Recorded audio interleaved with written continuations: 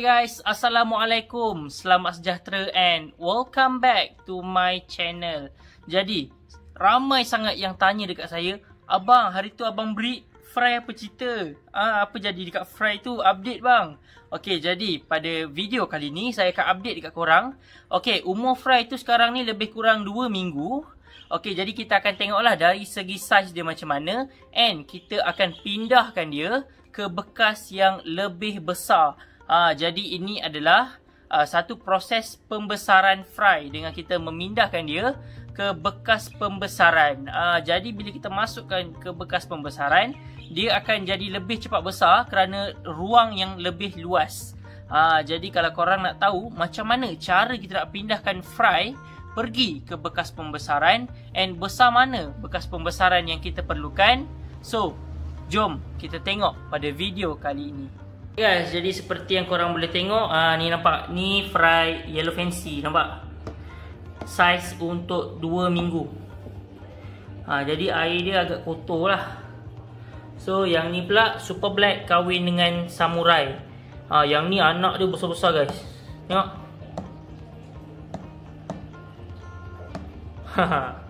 Uh, Yang ni pula Veil Tail Nampak? Jadi kita biasanya saya akan ketuk ke tepi ni lah untuk tengok respon ikan. Okay, so sebelum kita pindahkan dia ke bekas pembesaran, kita kena bersihkan dulu guys air-air dia ni. Ha, kotoran-kotoran ni kita kena bersihkan sikit. So jom. Okay guys, jadi cara dia mudah saja. Kita sediakan satu cawan ataupun bekas lain dan juga dropper. Jadi kita akan sedutlah kotoran dan masukkan ke dalam bekas. So jom kita bersihkan ketiga-tiga bekas fry ni.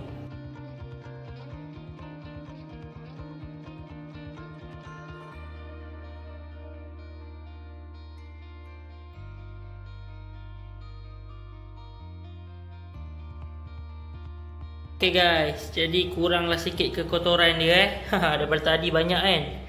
So kalau korang rajin lagi Banyak masa korang boleh bersihkan Sebersih-bersihnya semampu korang ha, Saya buat macam ni pun dah cukup dah. Nanti kita akan pindahkan dia lah. Ha, Jadi inilah Sisa yang saya bersihkan tadi pak. Yang saya kutip tadi. Korang kena berhati-hati tau. Make sure Korang tak tersedut sekali dengan anak-anak ikan ni. Ha, Biasanya ada orang gunakan tiup Apa tiup getah tu kan. Boleh sedut banyak-banyak Terus bersenang bersih Ha, tapi kalau kita guna tube, risiko kita akan termasukkan sekali fry. So, kena berhati-hati. Kalau pakai dropper, memang mustahil jugalah nak sedut fry. Mungkin boleh.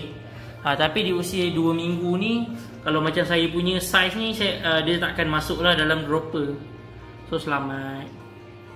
Okay guys, jadi inilah eh, bekas pembesaran yang boleh kita gunakan. Sama ada bekas gabus, storage atau apa-apa saja bekas yang besar. Jadi kat sini saya dah sediakan air perak, dah perak 2 hari. And dalam ni saya dah masukkan ada garam dan ubat water treatment lah. Ha, ubat saya tu. Ha, jadi ubat tu kita panggil dia bio beta eh, nama ubat tu. So saya dah masukkan bio beta dan juga uh, garam. Ini pun sama. So jom cara nak masukkan fry ke dalam bekas pembesaran. Jadi kita kena pegang dengan berhati-hati. Okey, angkat, jangan goyang sangat. Okey, lepas tu kita just letak saja dia dekat atas ni. Ha, biarkan terapung tu guys. Okey, jadi kita biarkan saja terapung macam ni.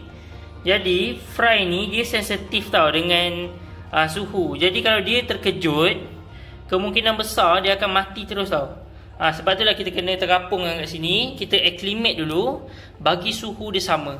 Baik, tempoh masa untuk acclimate adalah sekitar 45 minit ke 1 jam. Ha, kalau nak betul-betul sama. Ha, okay, so kita biar je. Sebab dia memang sensitif guys. Nampak? Fry-nya. Air pun kotor sikit. Walaupun dah bersihkan kan. Tak larat saya nak bersihkan semua. So, jom kita letak ke tiga-tiga bekas dekat bekas pembesaran untuk kita acclimate. Terusnya Super Black Samurai. Yang ni fry dia agak kuat tau guys. Agak agak besar-besar. Bismillahirrahmanirrahim. Okay, so kita akan terapungkan dekat sini. Bismillah. Cantik. Uh, so satu lagi. Ya, veil tail. Bekas dia ni berat ni. Alamak, macam mana saya nak record ni?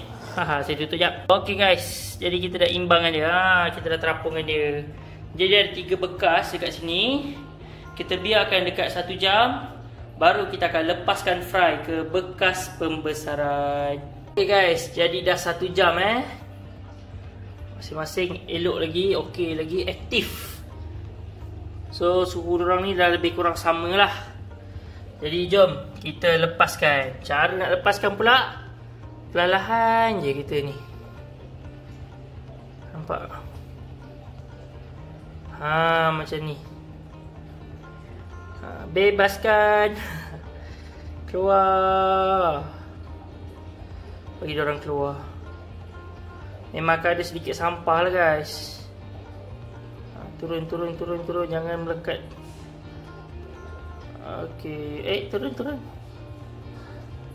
Alright. Pak dah bebas, dah bebas. Pak masih banyak kotoran eh. Sakit-sakit belakang saya kutip dia bunyi kotoran. Masih banyak lagi rupanya. Ha, tapi tak apalah, saya boleh kutip nanti slow-slow. Kita boleh guna dropper juga.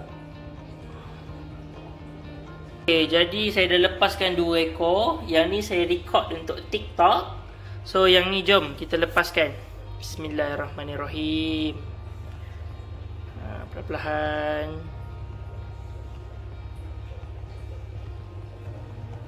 Pergi ke rumah baru.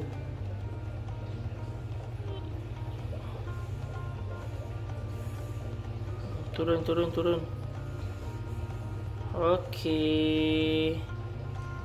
Tengok Khalif dia duduk kat rumah baru. Hai. Hai. Sony. Ini aku belikan Sony ke? Okay, jadi kita dah pindahkan ke tiga-tiga bekas. Tengok. Yang ni paling kurang kotor. so kalau korang tengok kat sini nampak Saiz dia orang pun boleh tahan juga sebenarnya untuk 2 minggu eh. Ha. Jadi bila dia orang duduk dalam ni, saya akan bagi makan lebih lagi sebab uh, kita bila dah sampai kat ruang yang besar, jadi dia akan lebih cepat besar. And bila ruang besar, kalau kita letak makanan sikit, dia mungkin tak jumpa makanan dia. Ha, jadi kita akan letak lebih sikit lah. Ha. So dia orang pun akan makan banyak, lebih cepat besar. Nampak? Ni yang yellow. Hello fancy je buat. Halu-halu comel je. Ini pula Veltail So bila diorang ni dah agak umur 2 minggu macam ni Diorang dah free swim dah kuat tau guys. Ha, Jadi saya biar je air tinggi. Kalau korang tengok nampak tinggi. Lebih lebih daripada tapak tangan saya. So okay tak ada masalah. Okay guys. Jadi uh, Sekarang saya tunjukkan dekat korang gelagat uh, fry-fry ni makan BBS ha, nampak tu saya bagi dia orang makan BBS seronok tengok orang kejar-kejar BBS bila masuk bekas pembesaran ni dia orang terpaksa berenang lebih lebih lah. Ha, sebab nak mengejar BBS tu. Kalau tak dekat bekas kecil hmm, ngap datang kat mulut datang kat mulut.